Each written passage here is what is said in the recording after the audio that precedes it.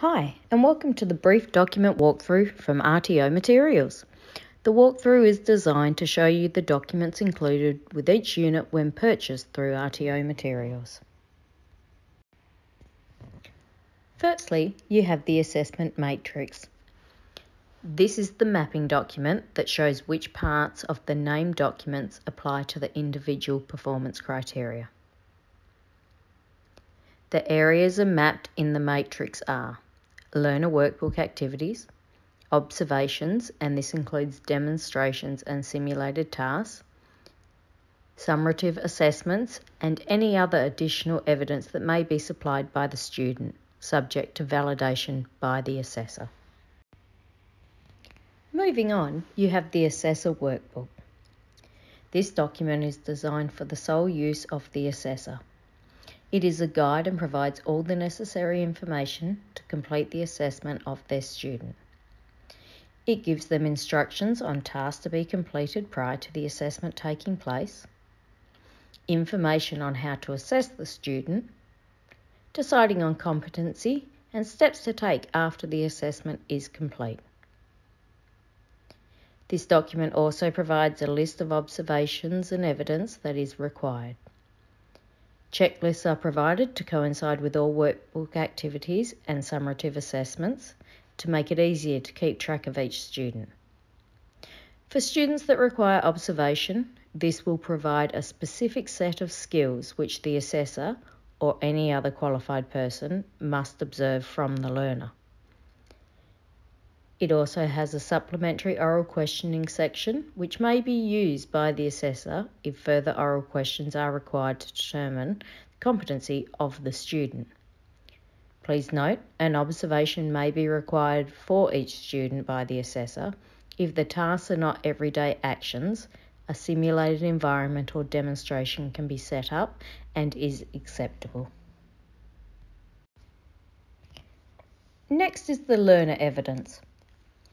This is not a necessity for completion of the unit, but can be used by the student as a guide to monitor their own progress as they work through the unit. This document lists all the elements and performance criteria. It provides space for a student to make reference notes, document their performance evidence, and to help keep them focused on the unit. To complement the learner evidence document is the learner guide. This is to be used as an information source by the trainer delivering the course and should also be given to the students as a learning tool to use during their lessons. The learner guide links with the learner workbook as it provides the information given during lessons. The way it has been designed is to help the student to further their knowledge and to complete the activities in the learner workbook. As I was just discussing the Learner Guide, I referred to the Learner Workbook. This is the next document I will discuss. Each student should be given a Learner Workbook which will hold a number of activities, both formative and summative. All the activities need to be completed in conjunction with the Learner Guide in the appropriate sessions, which correspond with the lesson plans. I will discuss these shortly. The formative activities are assigned to specific sections of the learner guide and should be completed in order. The summative assessments will need to be completed once the learner guide has been finished. The learner guide along with the trainer and assessor should provide further information and support to help the student with the activities. The trainer assessor should also refer to the assessor's workbook to obtain information on assessment, observation demonstrations, and activity answers. The Learner Workbook includes a workplace documentation section, which may be used by the student to record any workplace documents that have been submitted as evidence or to support activity answers.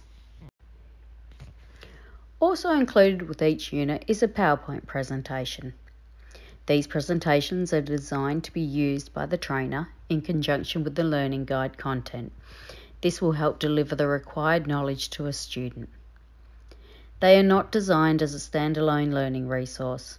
It will help you highlight the key areas of the learning content and present opportunities for interaction through student discussions.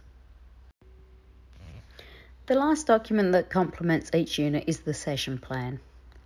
This is to be used by the trainer to help plan the delivery of the learning content and assessments to the student. It outlines the location, date, time, and details of the sessions and any special requirements that need to be considered prior to delivery of the content. If you require any more information, please contact RTO Materials and thank you for your time.